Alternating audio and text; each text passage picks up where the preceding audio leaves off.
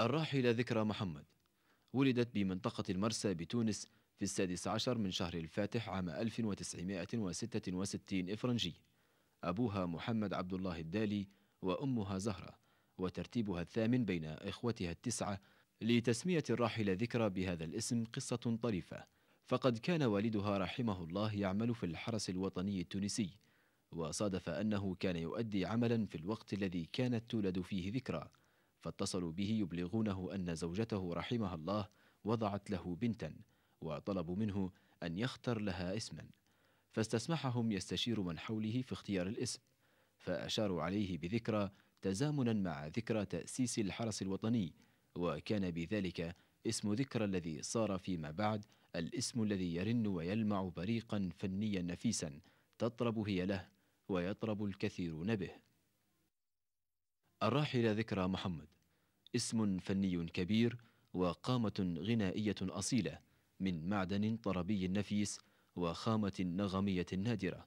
صوت قوي إحساس طروب مرهف أداء رائع يطربك ويأخذ بلب عقلك ويجعلك مشدودا شغوفا بالاستماع إليها والاستمتاع بصوتها العذب الشجي.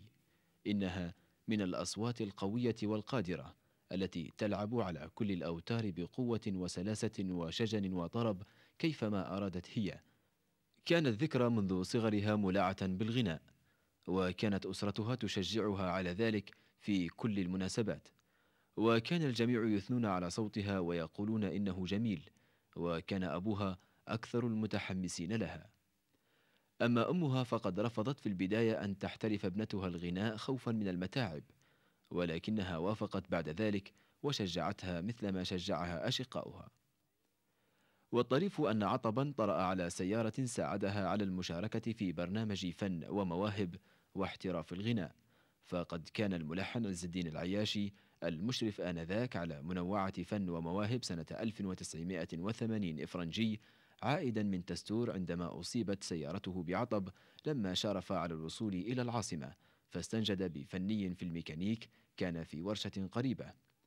وشاءت الصدف أن يكون هذا الفني شقيق ذكرى ومن متابعي المنوعة فتعرف عليه وأصر على أن يستضيفه في البيت. وبذلك تعرف العياشي على عائلتها ووالدها الذي طلب منه أن يسمعها وهي تؤدي بعض الأغاني فسمعها تغني قصيدة الرضا والنور فأعجب بطاقتها الطربية وصوتها الشجي. وهكذا دعاها للمشاركة في الحصة الموالية فشاركت وحازت الإعجاب فكانت تلك المشاركة ضربة البداية في مسيرة ناجحة إذ واصلت الغناء ضمن المجموعة الصوتية فتكونت في الموشحات والمألوف وشاركت في التصفيات النهائية للمنوعة على ركح مسرح قرطاج ففازت بالمرتبة الأولى. وبعدها التحقت بالفرقة القومية للموسيقى العربية لدراسة الموسيقى دراسة أكاديمية وحصلت أيضا على دروس في التجويد والإلقاء ونطق اللغة العربية على يد الشيخ عثمان الأنداري وتواصل بعد ذلك نجاحها حتى غدت إحدى أشهر المطربات العربيات.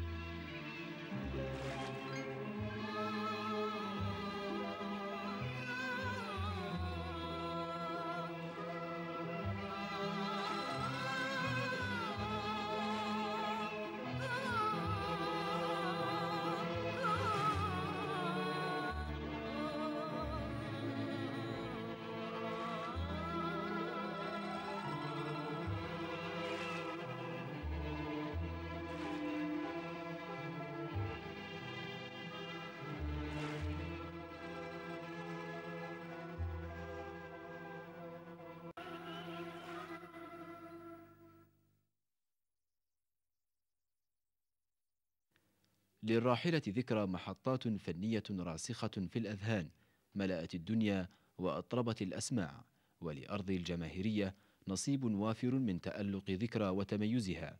لقد كانت أول زيارة تقوم بها الراحلة ذكرى إلى ليبيا في عام 1989 إفرنجي. ووقتها غنت الحب النجي كأول عمل غنائي ليبي كتب كلماته الشاعر الأستاذ عبد الله منصور ولحنه الفنان خليفة زليتني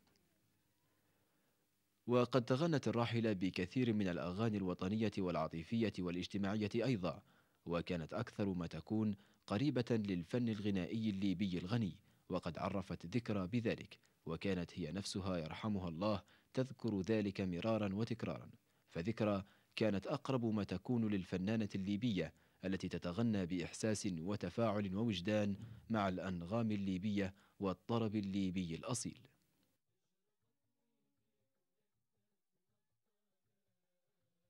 وأهل الاختصاص في الفن والطرب يعون ذلك أكثر منا. والله للأسف ديما أنا نقول دولنا المغاربية للأسف أغنيتنا لا تتعدى الحدود. ما نعرفش والله إحنا آه، نتمنى تكون عندنا شركات تدعم الفنانين آه، شركات تصنع نجوم تقدمهم إلى خارج الحدود يعني زي الأغنية المصرية زي الأغنية الخليجية. آه، إن شاء الله نتمنى من ليبيا من تونس من الجزائر من المغرب نتمنى وأنه يكون في دفع للأغنية المحلية المغاربية نعم. يعني من من دولنا العزيزة وإن شاء الله أنا ديما طلبتها من في تونس وطلبتها في المغرب وطلبتها طلبتها الآن في ليبيا إن شاء الله نلقاو الدعم الكافي وال يعني الدفع الكافي نعم. إن شاء الله م.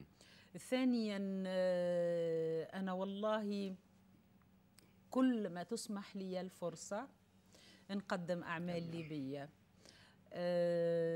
أه قدمت على مسرح كرتاج أعمال ليبية. قدمت هنا في الجماهيرية أعمال ليبية. كل في كل لقاءاتي نذكر في الأخوة الفنانين اللي تعاملت نعم. معهم أخيرا آه، في محطة أم بي سي أنا والأستاذ آه، محمد حسن في السيرة الهلالية. نعم. يعني آه، نبذل في قصارى جهدي. بارك الله فيك. شندرنا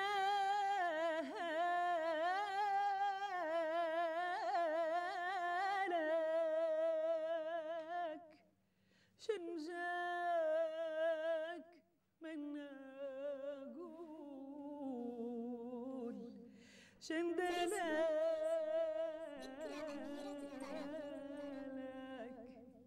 لك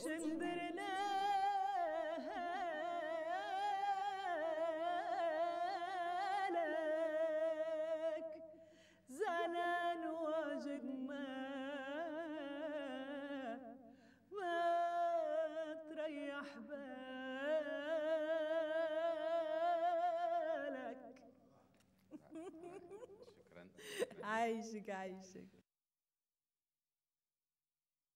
مشيئة القدر التي أرادت لذكرى أن تبدأ انطلاقتها الفنية من ليبيا أرادت أن يكون آخر شدو لها من ليبيا أيضا فقبل أربعة أيام فقط من وفاتها كانت الراحلة قد تغنت في سلسلة النجع نهاية العام الماضي أغنية الجارة. رحلت ذكرى عن الدنيا لكنها تركت لنا إرثا غنائيا كبيرا وعزيزا. ومجموعة كبيرة من الأعمال الغنائية ضمن سلسلة النجع ورفاق عمر.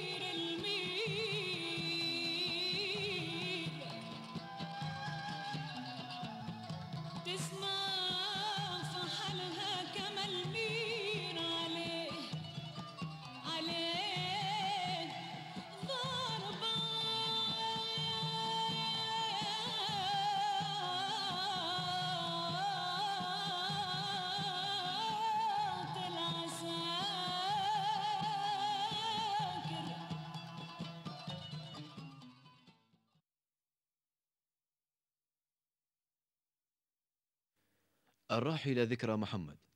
ولدت بمنطقة المرسى بتونس في السادس عشر من شهر الفاتح عام 1966 إفرنجي.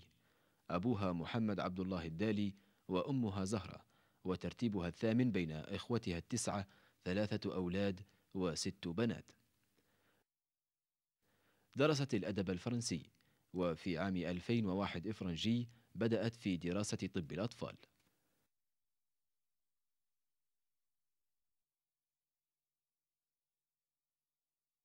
محطة زواجها كانت بتاريخ التاسع والعشرين من شهر هنيبال من عام 2003 إفرنجي ولحظة توقف حياتها ووفاتها كما هو معروف على يد من تزوجته في فجر يوم الجمعة الثامن والعشرين من شهر الحرث من عام 2003 إفرنجي. صعقت الأمة للخبر وبكاها الجميع. نسيت عشرتي ونسيت يا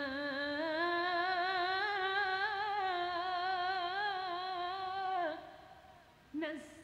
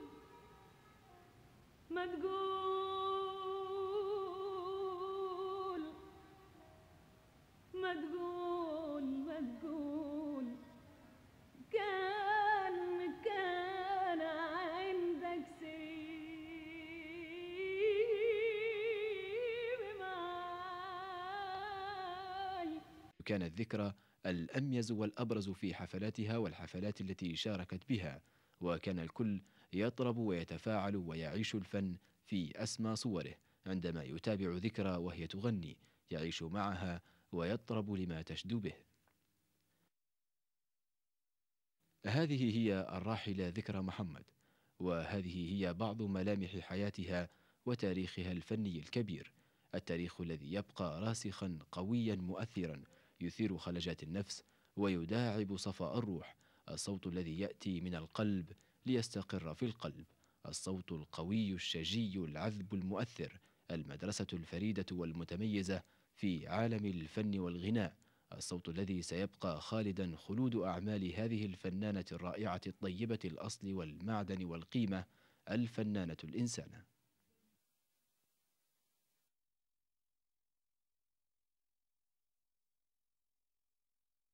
رسالة إلى ذكرى. عزيزتي الفنانة ذكرى رحمة الله عليك. تحية طيبة وبعد. مع نهاية عام والتطلع إلى ما هو آت في عام جديد أبعث إليك بهذه الرسالة. علما بأنني لا أعرف أين عنوانك حاليا. آملين أن يسكنك الله جنات خلده. وأشعرك بمدى اشتياقي. والعديد من محبيك إليك. فكلما أردنا لقاءك صبرنا أنفسنا واستمعنا لبعض أغانيك.